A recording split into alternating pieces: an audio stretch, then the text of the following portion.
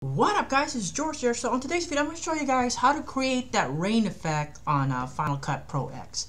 Alright, so what you want to do is open up Final Cut Pro. Uh, I'm going to put a video in that I want to uh, create the rain effect.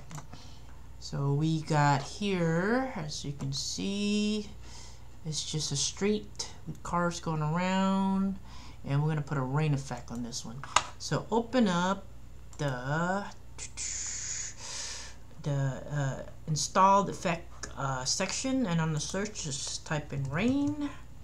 And there should be rain right there. And what you want to do is just drag drag this one to the video. Okay as you can see I play it now. It's got that rain effect on the screen. Now what you can also do at this time you, on the right side you can kind of uh, mess around with uh, some option here like the amount See, more amount, less amount. Now the less amount, so the more amount, more amount.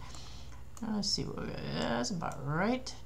The density, I might want to put that up a little bit or less, just depends.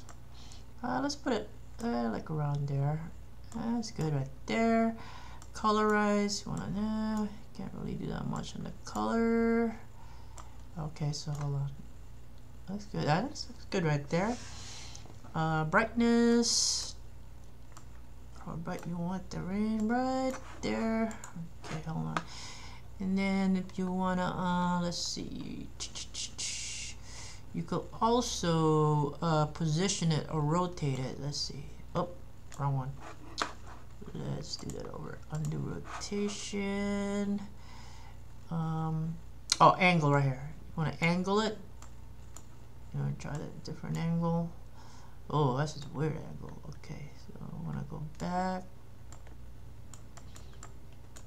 Wait, How do I? Okay, there we go.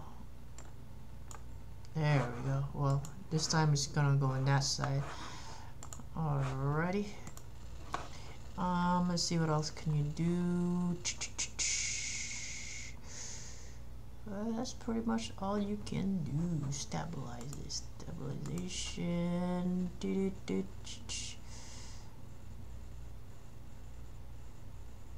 Alright, well that's how to create that rain effect on the, um, uh, Final Cut Pro guys, so